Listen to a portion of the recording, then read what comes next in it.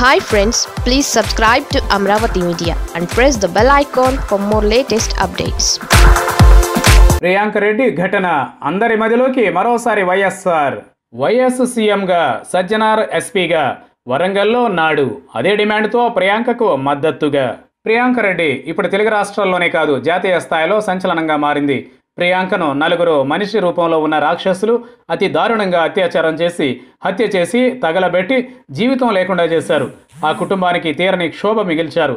ఈ సంఘటన మానవత్వం ఉన్న ప్రతి ఒక్కరిని కదిలించింది. తెలంగాణలోనే కాదు తెలుగు రాష్ట్రాల్లోనే కాదు జాతీయ స్థాయిలోనూ పెద్ద ఎత్తున ఆందోళనలు కొనసాగుతున్నాయి. ప్రియాంక పైన కిరాతకంగా వ్యవహరించిన వారిని పోలీసులు అతి తక్కువ సమయంలోనే పట్టుకున్నారు. అయినా సరైన సమయంలో పోలీసులు స్పందించడం లేదనే విమర్శలు ఉన్నాయి. ఇక ఇదే సమయంలో ప్రియాంకకు మద్దతుగా రోడ్ల మీదకు వచ్చిన వారు సోషల్ మీడియా ద్వారా పోస్టింగ్లు పెడుతున్న వారు గతంలో జరిగిన అంశాన్ని తెర మీదకు తెస్తున్నారు. దివంగత ముఖ్యమంత్రి వైఎస్ హయాంలో వరంగల్లో జరిగిన ఒక సంఘటనలో అప్పుడు ఆ జిల్లా ఎస్పీగా సజ్జనార్ ఉన్న సమయంలో ఏం జరిగిందో అదే సరైన తీర్పు అంటూ పోస్టులు పెడుతున్నారు.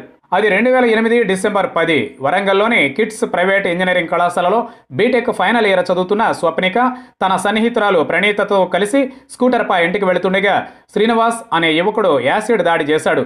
ఈ దాడి అప్పటి ఉమ్మడి రాష్ట్రంలోనే కాకుండా దేశవ్యాప్తంగా సంచలనం సృష్టించింది. యాసిడ్ దాడిలో తీవ్రంగా గాయపడిన స్వప్నిక సికింద్రాబాద్లోని యశోద ఆసుపత్రిలో చికిత్స పొందుతూ విద్యార్థిని స్వప్నిక మృతి చెందింది. తీవ్ర గాయాలతో ప్రణీతకు చికిత్స జరుగుతోంది. ఆ సమయంలో నిందితులను పోలీసులు అరెస్ట్ చేశారు. ఆ సమయంలో సీఎంగా ఉన్న వైఎస్ రాజశేఖర రెడ్డి ఈ విషయాన్ని తీవ్రంగా పరిగణించారు. ఆ సమయంలో వరంగల్ ఎస్పీగా ప్రస్తుతం ప్రియాంక కేసు పర్యవేక్షిస్తున్న సైబరాబాద్ కమిషనర్ సజ్జనార్ వ్యవహరించారు. ఆ తర్వాత ఇద్దరు విద్యార్థినులపైన యాసిడ్ దాడి ఒకరి మరణానికి కారణమైన వారిని పోలీసులు అదుపులోకి తీసుకున్నారు. యాసిడ్ దాడిలో స్వప్నిక మృతి చెందగా ప్రణీత చికిత్స పొందుతున్నారు. ఆ సమయంలోనే ఈ దాడిలో ప్రమేయం ఉన్న ముగ్గురిని పోలీసులు అరెస్ట్ చేశారు. అయితే ఆ తరువాత వారు ఎన్కౌంటర్ అయ్యారు. ఆ ముగ్గురిలో దాడి చేసింది శ్రీనివాస్ కాగా సహకరించింది సంజయ్ హరికృష్ణ.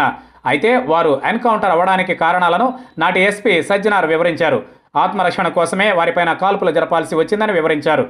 వారు నేర ప్రవృత్తి కలిగిన వారని పథకం ప్రకారమే వారు అమ్మాయిలపై అమానుష్యంగా యాసిడ్ దాడి చేశారని అన్నారు. తాము నిందితులు చెట్లలో దాచిపెట్టిన ఆయుధాలను రికవరీ చేసుకునేందుకే నిందితులతో కలిసి వెళ్ళామని ఆయన అన్నారు. వారు తమపై దాడికి దిగినందునే ఆత్మరక్షణార్థం పోలీసులు కాల్పులు జరిపారని ఆయన అన్నారు. వారికి తుపాకులు ఎక్కడి నుంచి వచ్చాయో దర్యాప్తు చేస్తామని అన్నారు. చట్టం తన పని తాను చేసుకుపోతుంది. తప్పితే ఇది కావాలని చేసింది కాదని ఎస్పీ సమర్థించుకున్నారు. ఇక ఇప్పుడు యాదృచ్ఛికంగా ప్రియాంక రెడ్డి కేసు పర్యవేక్షణ చేస్తోంది సైబరాబాద్ సిపి సజ్జనార్. నాడు వరంగల్లో ఏ రకంగా అయితే యాసిడ్ దాడి ఒక విద్యార్థిని మరణానికి కారణమైన ముగ్గురు ఏ విధంగా ఎన్కౌంటర్ అయ్యారో అదే విధంగా ఇప్పుడు ప్రియాంక రెడ్డిని చంపేసిన వారిపైన వ్యవహరించాలని డిమాండ్లు వినిపిస్తున్నాయి.